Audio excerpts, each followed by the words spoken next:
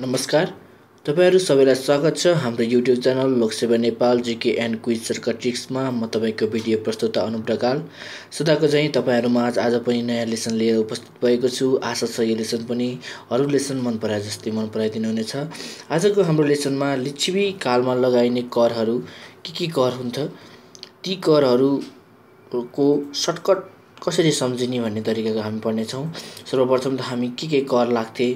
लिच्छिबीकालमा भनेर हामी हेरौँ।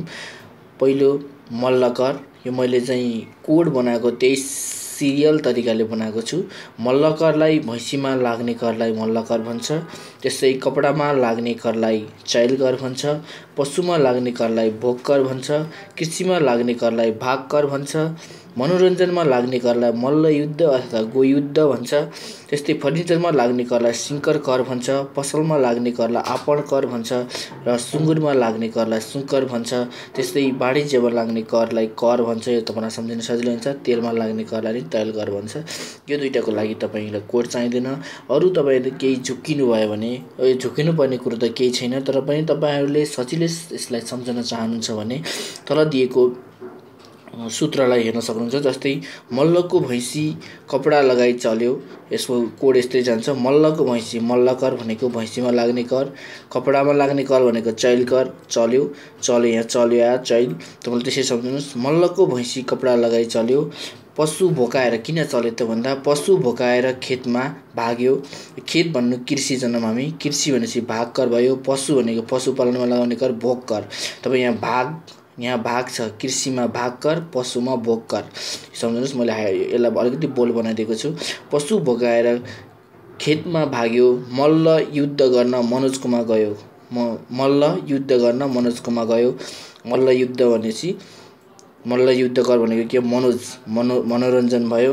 त्यस्तै तर शङ्करको फर्निचर शङ्कर भनेपछि सिङ्कर भन्ने के छ हाम्रो? फर्निचरमा लाग्ने गर्छ। तर शङ्करको फर्निचर नजिकको पसलमा आपको पसलमा आपको सुँगुर तपाईँको सुँगुरलाई सुगर खुवायो सुगर भनेको चिनी सम्झाउनुहोस् अब यो यो कसरी जान्छ भने शङ्कर सिकर सिङ्कर भनेको फर्निचरमा लाग्ने कर भयो। त्यस्तै पसलमा लाग्ने कर भनेको आपण कर। पसलमा आपको भयो सुँगुरलाई सुगर खुवायो सुँगुरमा लाग्ने कर के भन्छ त्यसलाई? सुगर भन्थ्यो। तपाईँले एकचोटि सर र यसरी हेर्न सक्नुहुन्छ। मल्लको भैँसी कपडा लगाइ चल्यो पशु भोकाएर खेतमा अथवा कृषिमा भाग्यो मल्ल युद्ध गर्न मनोजकोमा गयो तर शङ्करको फर्निचर नजिकको पसलमा आँपको सुँगुरलाई सुँगर खुवायो। यसो तपाईँले यसरी एउटा सिक्वेन्सको रूपमा यो सम्झना एउटा इभेन्टको रूपमा यसरी यसरी गयो भने एउटा ट्रेस गर्नुहोस् एउटा चित्र बनाउनुहोस् एउटा स्टोरी जस्तो बनाउनुहोस्। तपाईँले चाहिँ यो सम्झना पनि एकदम सजिलो हुन्छ। माथि एकचोटि पनि सर हेर्नुहोस् यिनीहरूलाई तपाईँले सेभ गर्न सक्नुहुन्छ टिपोट गर्न सक्नुहुनेछ।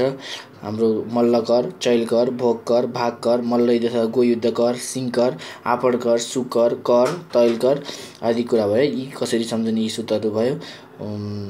तपाईँहरूलाई यो लेसन कस्तो लाग्यो यस्तै यस्तै अन्य सामग्रीहरू अन्य जानकारीहरू र अन्य सूत्रहरू तपाईँलाई चाहिँ जान्न इच्छुक हुनुहुन्छ भने तपाईँले हाम्रो यस च्यानललाई सब्सक्राइब गर्न सक्नुहुनेछ। आगामी दिनहरूमा यस्तै उपयोगी सामग्री लिएर तपाईँहरू माझ उपस्थित हुने भाषा गर्दै आजको भिडियो प्रस्तुता म अनुप्रकाल तपाईँहरू माझबाट बिदा हुन चाहन्छु। हस्त धन्यवाद।